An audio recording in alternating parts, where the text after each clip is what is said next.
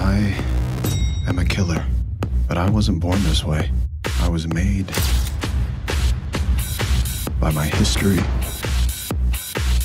by the people around me.